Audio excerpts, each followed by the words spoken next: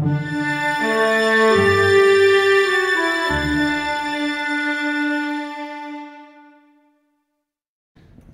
morning. If you would open your Bibles, please, to Jeremiah chapter 3. The title of this morning's message is The Call to Return. It seems like this call it goes out quite a bit from the Lord. He keeps calling and calling, come back, come back. Why are you running? Why are you heading away when I want you to return? And in choosing this morning's title for the message, I thought it sounds a lot like where we have been before in the studies, and it's because God desires that none should perish, but that all should come to repentance. And He will call, and He will call, and He will call. And because we have free will, some will not come back. They simply choose to continue to run in the opposite direction. In our previous studies in the book of Jeremiah, the last one in particular was entitled Broken Cisterns. Do you remember that? It was God calling out to the people of Israel and to the people of Judah and saying, Why, why are you doing what you're doing? Why have you forsaken me, the fountain of living water, and chosen rather than a fountain which has no end? You've chosen to store water in cisterns that cannot hold water. And what is that? What does that mean to the life of somebody that's out there in the wilderness? If you have no water, what does that mean? You have no life. You're not going to last very long that way. And God's question to them, He says, What did I do? What did I do that caused you to turn from me and run after the gods of the nations around you? He said, Those nations, they don't abandon their gods. They're very faithful to their gods, and their gods are just idols. They're false. They, they provide nothing for their people. But you, my people, choose to leave me, the one true living God, and forsake me to follow after gods that cannot hear, cannot see, cannot answer, cannot do anything the devotion this morning was right where those people were at that time. And it's not unique to the, those people or that time. It, continues on and has always been a part of the world's struggle to seek after false gods, idols that cannot answer prayers. We are a people who know that our God has an ear to hear. He hears every prayer that, that we pray. Every time we call out to him, he hears.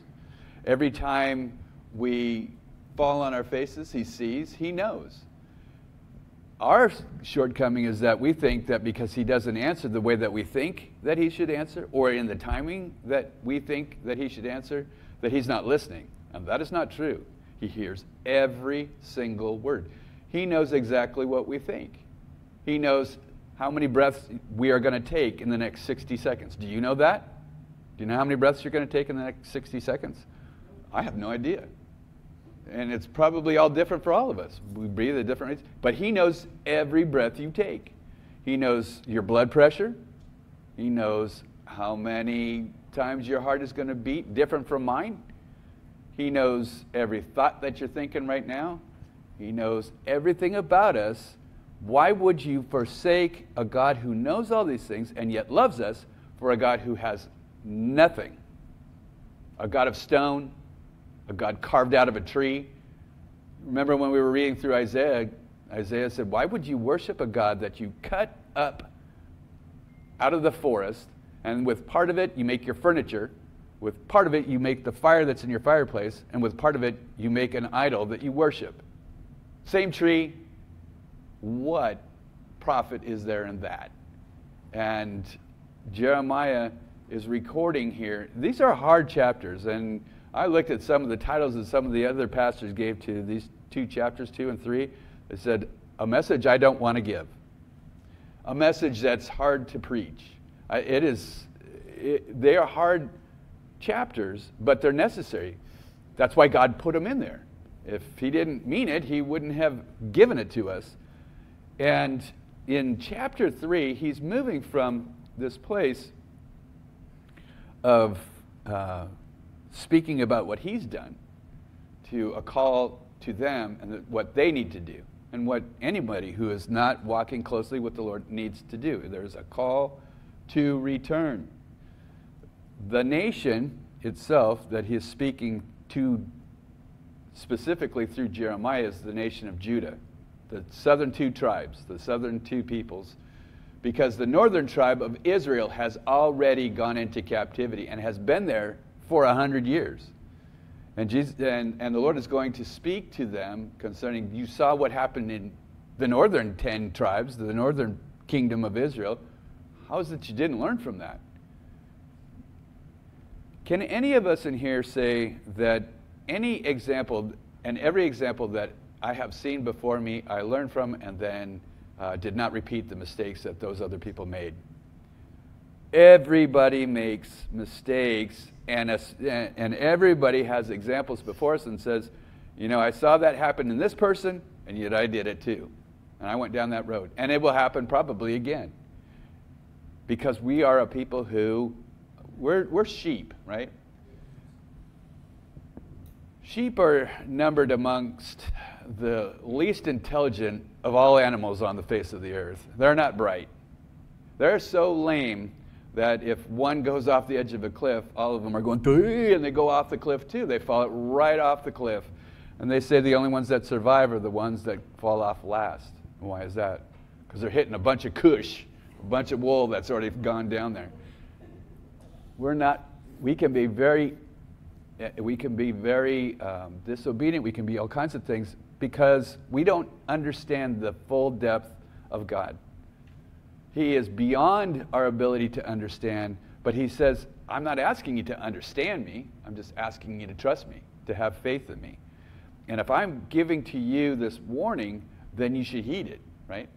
So one of the things that Rachel and I've mentioned this before, what she does is with her with her boys is she will say to them before they find themselves in a bad way, she'll say, "Take the warning before the discipline.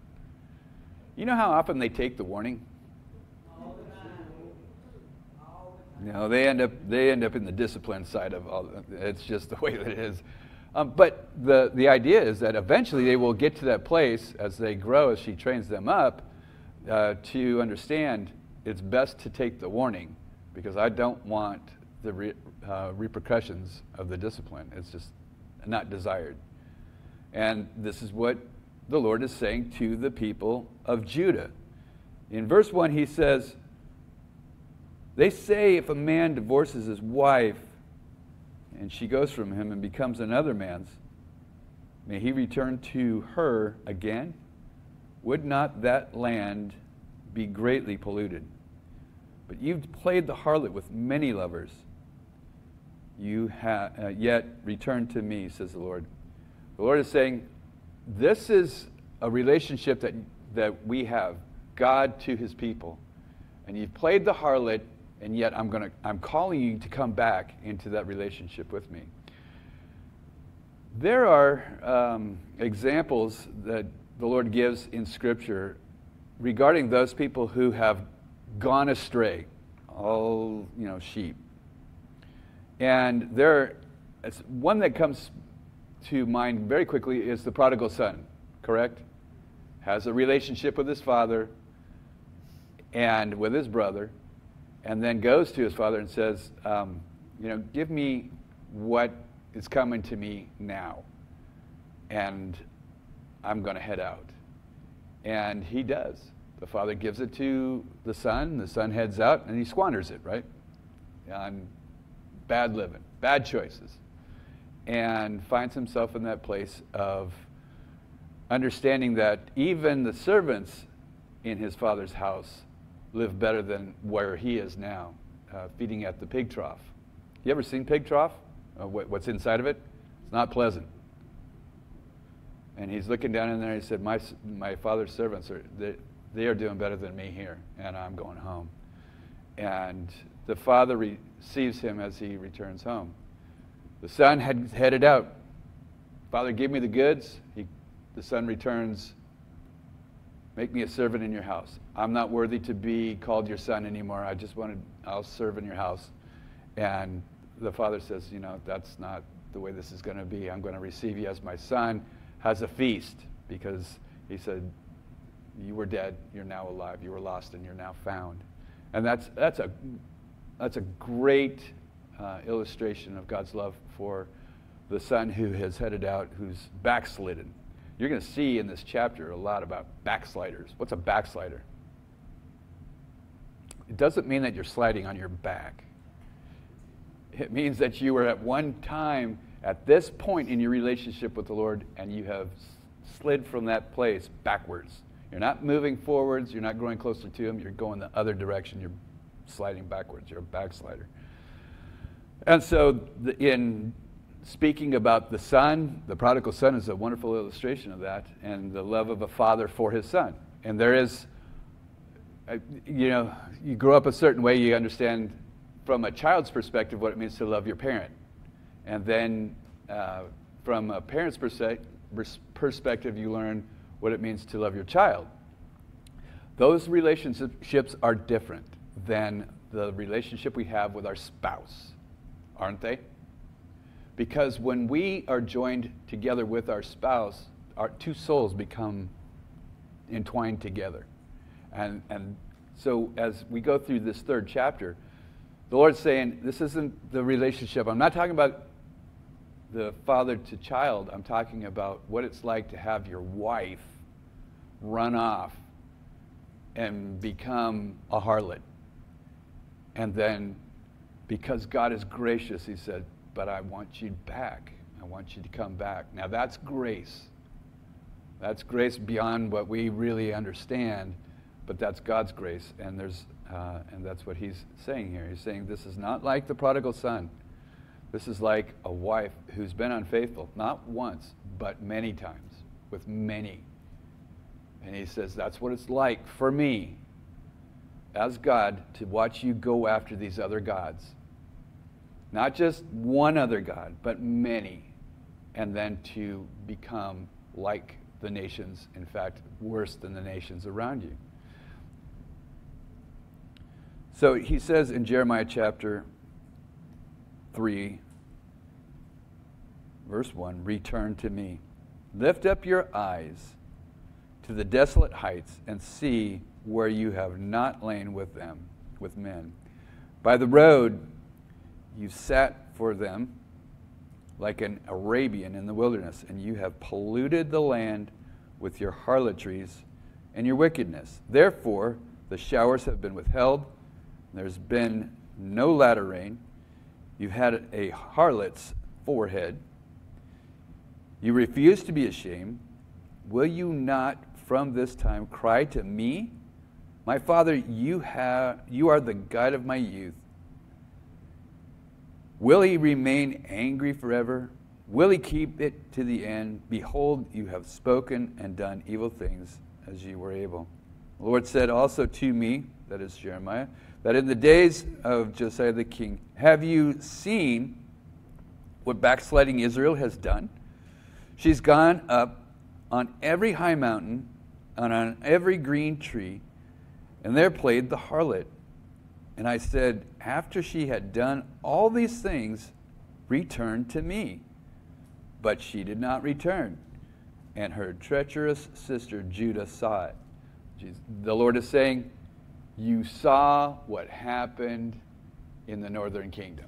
You saw them begin to spiral down. You saw me call out to them. You saw their betrayal to me. They've gone after these other gods.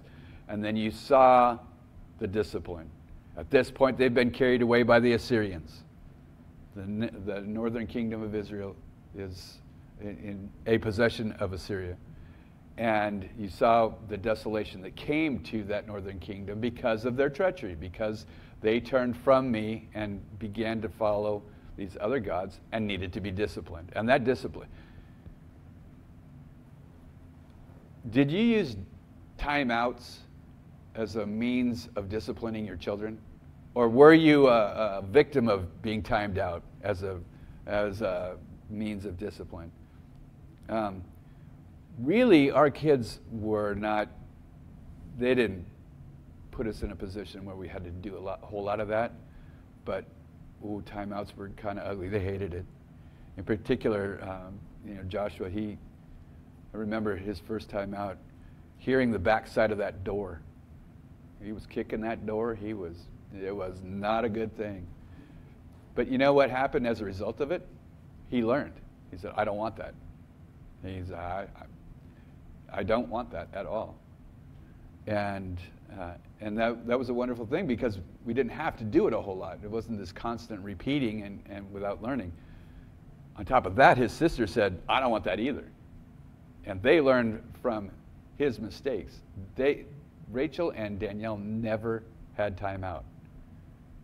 Um, that's not to say that they didn't have training, but it was never necessary for time out because they just watched that and they said, I don't want that. That's not, that's not for me.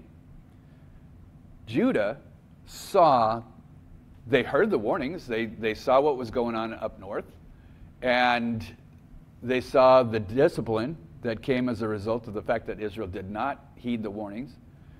And the Lord says in verse 8, Then I saw that for all the causes for which backsliding Israel had committed adultery, I had put her away and given her a certificate of divorce, yet her treacherous sister Judah did not fear, but went and played the harlot also.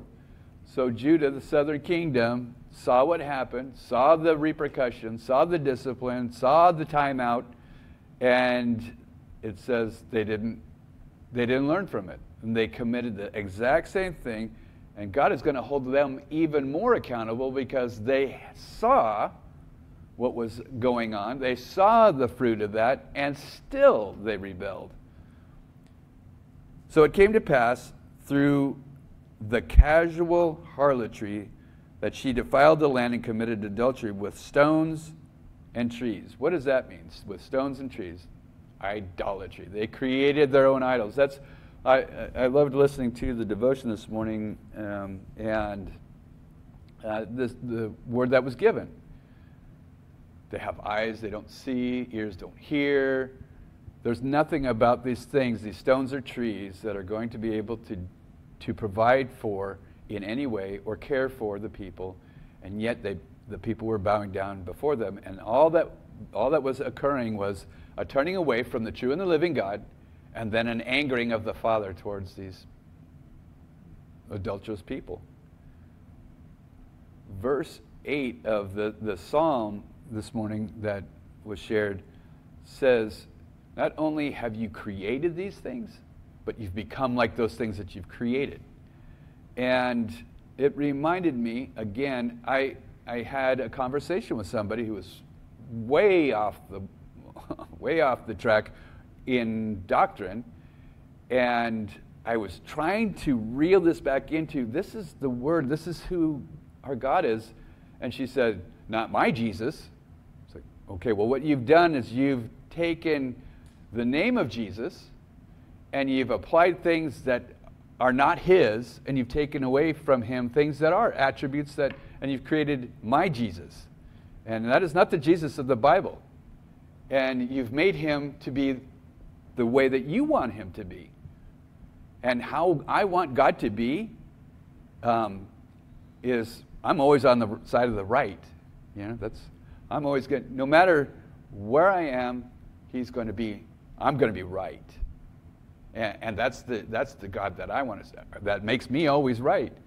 And in reality, God doesn't change. He is who He is.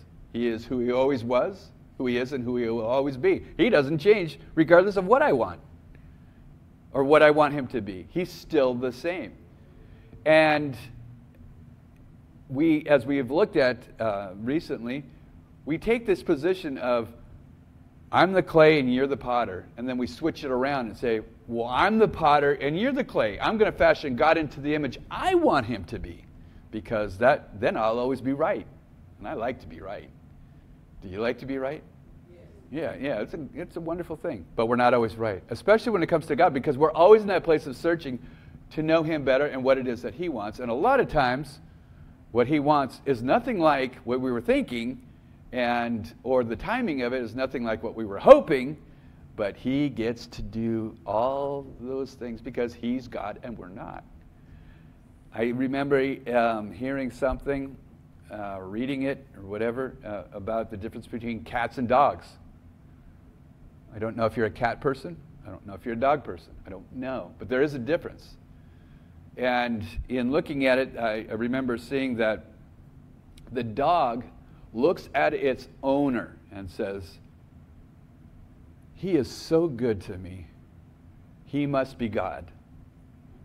And the cat looks at the same person and says, He is so good to me. I must be God.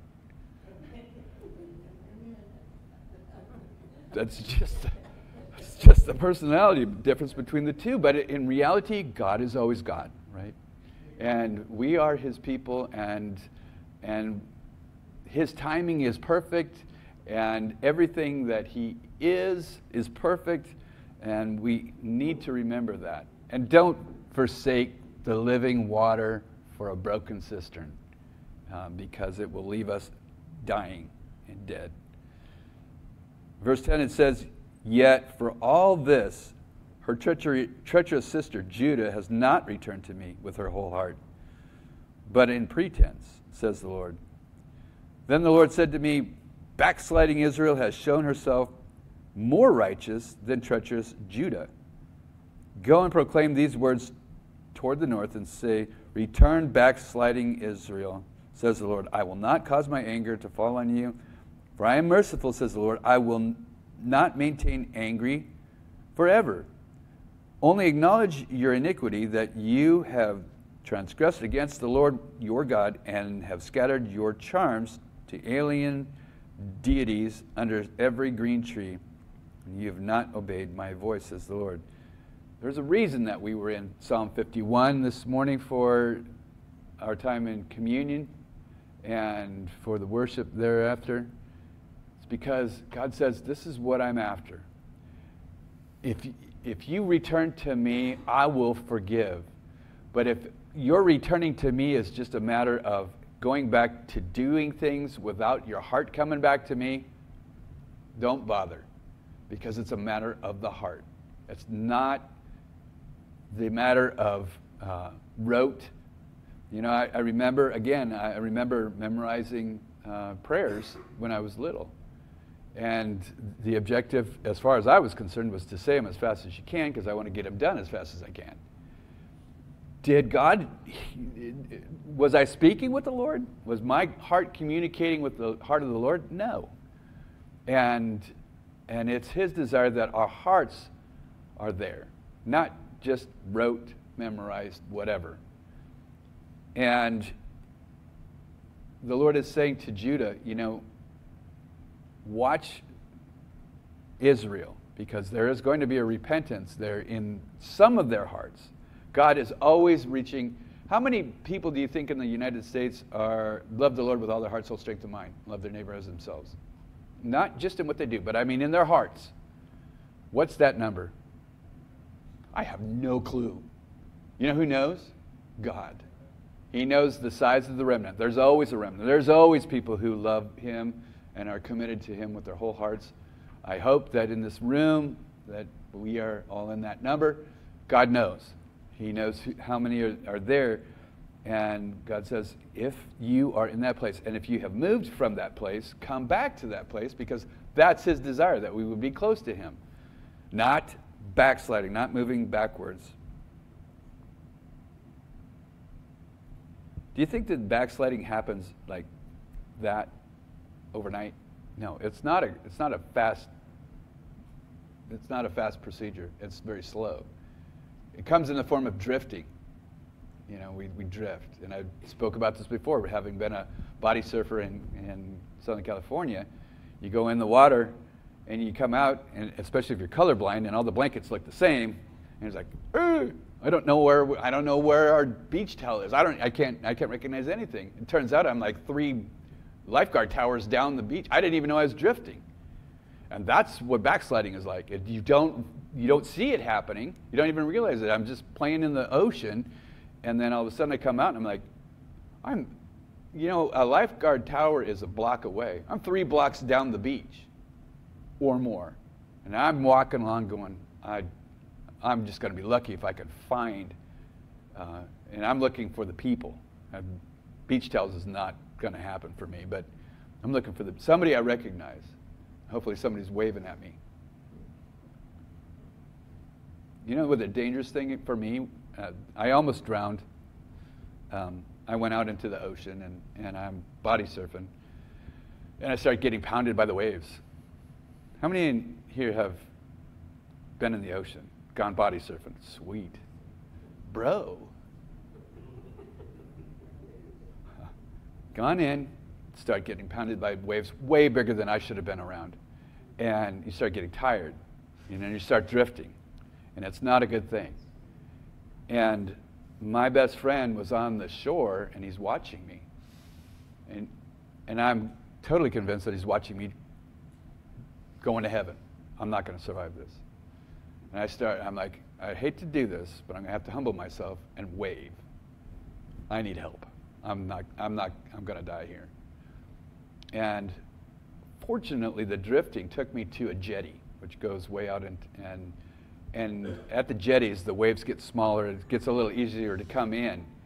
And as I come in, I go around the jetty, and on the other side, I come in, and here comes the bonehead lifeguard. And I'm like, I'm, I'm already walking. You're a little late on this thing. And he's got the little, I'm not even going to grab that because I'm, I'm already walking. And I go to my best friend. I said, Why didn't you do something? I was I was drowning. I was going to die there. And he said, Oh, I thought you were saying, come on in. The waves are great. no, I was not saying that. I was going to die. And I'm drifting and I'm, I'm going to go under because you go under and you can't come up and you, you get pounded and sometimes you don't even know which way is the surface and it's like, it's awful. You're going to drown. He did learn from me though. He didn't go in the water. Drifting is something that happens slowly and you don't really know, and then you go, How did I get here? How did I get this far away from the Lord? And there were signs that we went around, you know, there were things that God was, He didn't fail to give us the warnings. We just didn't want to listen. We just, oh, I'll, I'll just go around it. And God's calling out to Israel, and, and He's saying, Judah, you're worse. You know what the name Judah means? Praise. They're supposed to be praising the Lord. And they are, have gone to just a, a religious, mechanical thing, and they're not praising Him with their hearts at all. They're just doing the duty. verse 14, he says, Return, O backsliding children, says the Lord, I'm married to you. I will take you one from a city and two from a family, and I will bring you to Zion. And I will give you according to my heart, who will feed you with knowledge and understanding. And then it shall come to pass when you are multiplied and increased in the land in those days, says the Lord, that they will say no more, the ark of the covenant of the Lord. It shall not come to mind, nor shall they remember it, nor shall they visit it, nor shall they nor shall it be made any more. At that time Jerusalem shall be called the throne of the Lord and all the nations shall be gathered to it, to the name of the Lord, to Jerusalem. No more shall they follow the dictates of their evil hearts, and in those days the house of Judah shall walk with the house of Israel. And they shall come together out of the land of the north and to the land I have given as an inheritance to the fathers. But I said, How can I put you among the children and give you a pleasant land, a beautiful heritage of the host of nations? And I said, You shall call me Father and not turn away from me. Surely, as a wife treacherously departs from her husband, so have you dealt treacherously with me, O house of Israel, says the Lord. A voice was heard in the desolate heights, weeping and supplication of the children of Israel, for they have perverted their way, they've forgotten the Lord their God. Return, you backsliding children, and I will heal your backslidings. Indeed, we do come to you for you are the Lord our God. Truly in vain our, is our salvation hoped for from the hills and from the multitude of the mountains. Truly, in the Lord our God is the salvation of Israel, for shame has devoured the labor of our fathers from our youth, their flocks, and their herds, and their sons, and their daughters. We lie down in our shame, and our reproach covers us. For we have sinned against the Lord our God, we and our fathers from our youth, even to this day, have not obeyed the voice of the Lord our God. God gives to them the call to return, come back. Because God's grace is infinitely beyond ours, because His love is infinitely beyond ours, it, it's hard to understand how gracious He is and how loving He is. It, he said, don't, don't try and find the depths of it because you can't. Don't try to find the end of it because there is none. His mercies endure forever, right? His love never fails and never ends. So when we look at what God is saying to these people, He's saying, you know, why, why, what did I do that caused you to turn and then to move away from me and go seeking after these other gods? What did I do? It's not God who did anything, it's people. And we have it within us because we have that sin nature within us. And God says, Let me show you the depth of my grace and my love. If you can, you don't have to, but um, in the book of Hosea, have you ever read that book? It's hard reading because the book of Hosea, which is right after the book of Daniel, God gives to that prophet. Now, this is a man of God, loves the Lord with all his heart, soul, strength, and mind. And God gives him instructions in the first chapter. And he says, I want you to take a wife. And the place that I want you to get your wife from, she is a harlot. She sleeps around like you can't believe. And I want you to take her and make her your wife. Now, that doesn't look like it has a great future in it, does it? But God is giving to the people the illustration through this marriage of what it looks like to be God with his people, his bride, his, his love, his wife. And so Hosea takes this wife, and now her name means completed. It's pronounced Gomer. What comes to mind when you hear the name Gomer? Shazam! Her name's Gomer, and she is a, a prostitute. And, and Hosea makes her his wife in chapter 1. In chapter 2, they start having children together. And each child is a message. Their, their name is a message to the people of Israel.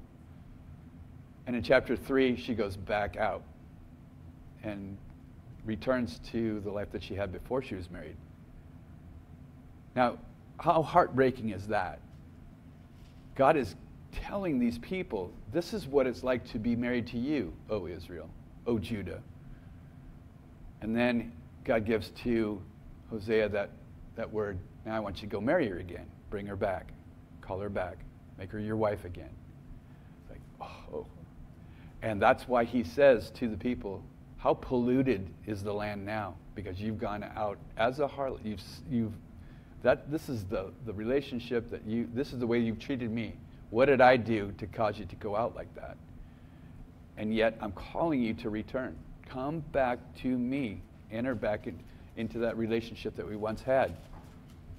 Um, you know, for most, and we talked about this um, last time in chapter 2, when we begin the relationship with uh, the one who will become our spouse, what does it look like?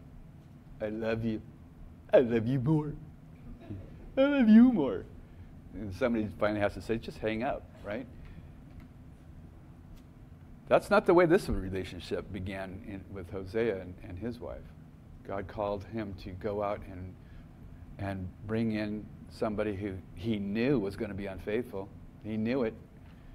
He, when we get saved, when we give our lives to the Lord, guess what? He knew we were not going to be perfect after we received Jesus as Savior, right? He knew that. I, have you ever asked him, gosh, you know, I make so many mistakes. Why'd you save me? And he's, because I love you. That's why he did it. That's why he does it. And he knows that that doesn't mean that from now on, I'm going to be sinless. Lord willing, it means from now on, I'm going to sin less. And, and he is, as it's written in 1 John, he said, You know, when we sin, and if we confess our sin, he, that is God, is faithful and just to forgive us our sin and to cleanse us from all unrighteousness. Why? Because we're so good? No, because He is. Because He loves us. Because He desires for us to be closer to Him day by day. And if we find ourselves in that place of backsliding, I, you know, I used to be a lot closer to Him. I, it's a tragic thing to talk to somebody and say, well, I used to be, and I used to do, and I used to find myself. It's like, when we moved here, I ran into that a lot. Well, we're kind of in between churches. How long you been in between churches? About 10 years. It's like, you're not in between churches. That's not what's happening here. You need to, you need to come back to the Lord. You need to get back to that place. Uh, you know, as Jesus talked to the church of Ephesus, he said, you know, return to your first love. Return to that place with God where you're going, I love you. And he says, I love you more. And he does. Amen? Amen? Lord, thank you for your grace. Thank you, Lord, that your grace uh, is beyond our understanding, that there is no, no place where your grace can't reach because there's no place that your love can't reach. That's why. And we thank you, Lord, that even though you look into our hearts, our minds, our lives, and see those things that still remain or have gotten in there that are doing a work of sending us down the shoreline, uh, and uh, we're even losing sight of where uh, we once were. Maybe going down for the third time and, and in peril of life coming to an end here. But you, because of the knowledge that with you all things are possible, that you can take any life, any people, any nation, and turn it around. But it's a call that you give. We have to respond to that call. We pray, Lord, that by your Holy Spirit we would respond whenever you speak, whether it's about coming back stepping forward, stepping in your timing, whatever it is that you say, we want to do that. We don't want to step ahead of you or fall behind you. We just want to be where you are. We pray, Lord, for those that may be in that place of backslidden, further away than we once knew. We pray, Lord, that by your Holy Spirit you would draw us near that we would become so on fire for you that people would say, You need to put a veil over that face. You are way too shiny because of the time that we spend with you. There is a joy that we have in our hearts, and it is the joy of the Lord. We pray, Lord, that that joy would be that fountain of living water, bubbling up and then getting all over everyone around us. We thank you for who you are. We thank you for who we are and you. We thank you and praise you with all that we have. In Jesus' name, amen. Please stand for one last song.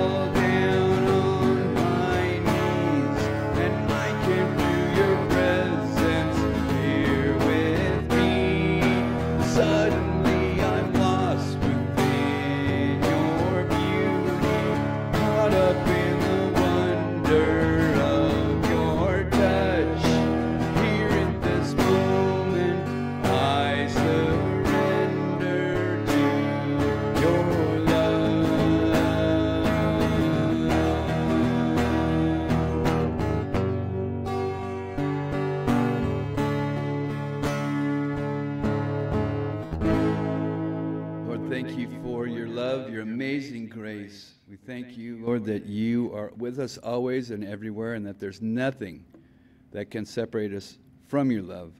We pray, Lord, that your hand would be upon all those that are here this morning, all those that are watching on the live stream. We pray for the fathers that they would step up and be the fathers that you desire for them to be in their homes. We pray for their homes, their wives, their the children there that this would be a time, a day, and a place where your Holy Spirit would do a work to restore the families as you desire them to be and not what the culture is trying to make them. And we pray, Lord, that by your Holy Spirit, you would use the fathers, the mothers, the children to reach out to those around them and share about your grace, about your mercy, and about your love.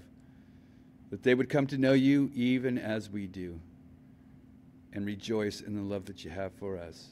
We thank you and we do praise you. In Jesus' name, amen. And the Lord bless you and keep you, and the Lord make his face to shine upon you the Lord be gracious to you, and the Lord lift up his countenance upon you and give you peace. In Jesus' name, amen. God bless you. If you desire prayer, we'll be up here and you, can pray with us.